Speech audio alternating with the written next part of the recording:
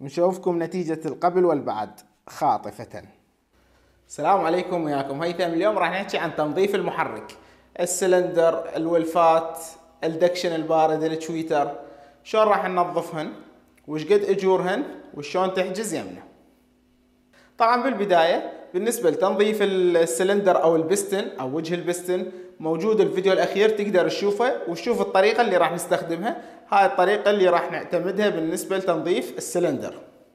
وإذا كنت تتعاجز تروح تشوف الفيديو مال طريقة التنظيف خل أحكي لك إياه باختصار. نفتح البلكات نجيب مادة رغوية نضخها داخل السلندر. لحد ما تتحول هاي المادة إلى سائل والرغوة تروح. نسحبها ونضغط هواء. وراح نعيد العملية هاي مرة مرتين ثلاثة إلى أن نصير السلندر نظيف. درجة النظافة مالته ممكن تكون يعني خلينا نقول تسعين بالمية. ونشوفكم نتيجة القبل والبعد خاطفة. بعد عندنا شنو؟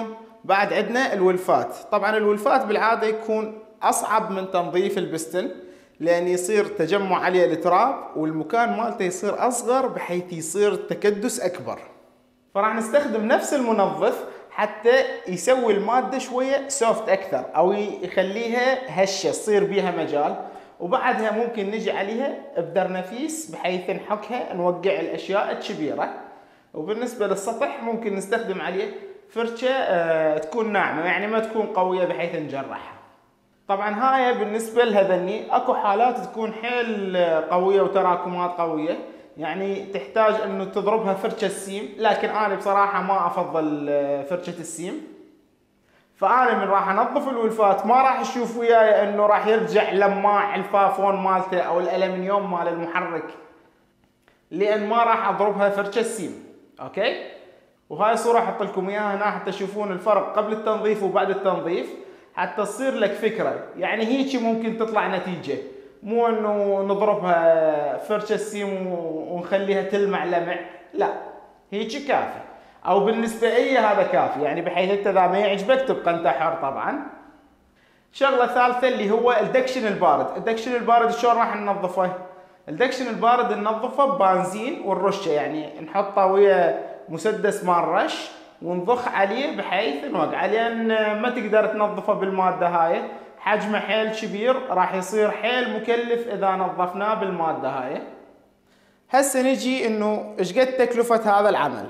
طبعا هاي الشغلة كليتها تحتاج لها وقت خمس ساعات أو ست ساعات حسب حسب الكمية من التراكمات اللي موجودة داخل المحرك. فبالنسبة لي إذا تريد تسويها يمي لازم تجيب لي إياها السيارة الصبح وترجع تاخذها بعد العصر. وبالنسبة للأجور مالتنا مثل ما ذكرنا إحنا راح ننظف تويتر ودكشن بارد الولفات والسلندر وحجر البيئة راح يصير للمحركات الأربعة سلندر يكون 125 ألف للمحركات الستة سلندر 150 ألف المحركات الثمانية سلندر يكون 200 ألف. الأسعار اللي مذكورة اللي هي للسيارات اللي تكون موديلها. 14 وصاعد لأن هاي نسبيا تكون درجة التراكمات بيها يعني طبيعية. مو مثل هسه هاي سيارتي اللي هي صار لها قرن ما حد واصل يمها.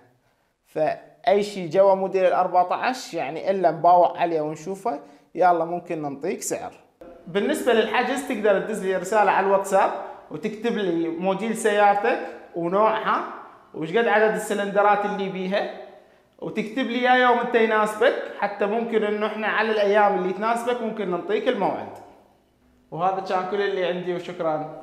في الله.